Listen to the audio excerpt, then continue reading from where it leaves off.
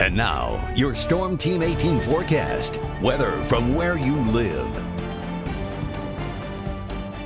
Well, you know it's summer when you're getting the water slide out, getting the cobwebs off that thing, the spiders are crawling off of it. That's something we did tonight. I ran home, we inflated it, we got it all cleaned off, and the plan is to, for it to make its debut tomorrow before it storms any around here. Now, there could be an isolated shower before sunrise.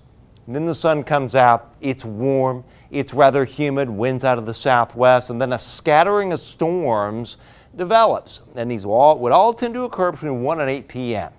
If anything would go isolated severe, it'd be between 2 and 8, and that'd be a wind and hail threat. A, a one or two storms might go uh, severe. 86 the high, it'll feel like about 90, and there are the highs area wide at 87, or pardon me, 83 to 87. The heat index 87 to 93 tomorrow afternoon. It's a marginal risk for severe or isolated severe. You see the wind and hail threat right, right there, and that's the Storm Prediction Center's outlook. And we got a marginal risk on Sunday as well. 76 to 83 degree highs, sunshine in the morning, 61. We bubble up the clouds in the afternoon and a scattering of storms after 2 p.m. Any isolated severe would be uh, between 3 and 8 p.m. with an 82 degree high.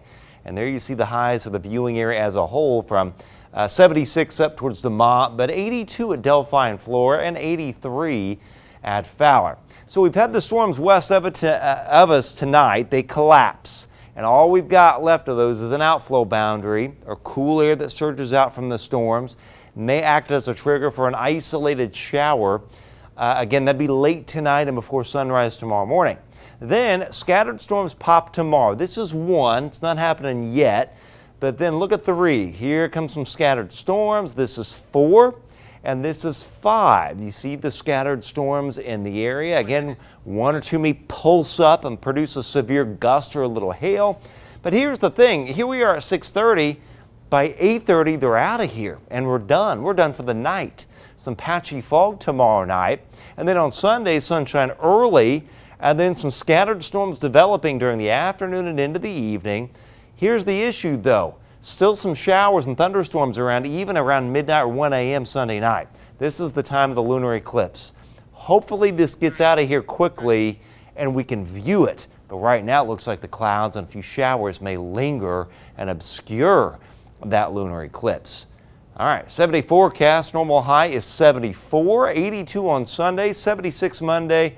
Nothing more than an isolated shower from these cumulus clouds bubbling up over the sky. Dry Tuesday, dry mostly Wednesday, but Wednesday night, Thursday morning, a warm front comes through with some scattered showers and storms, and then it's hot and humid Friday and hot and humid Saturday and next weekend, and that may have a better potential severe weather, more widespread severe weather developing a week from this weekend.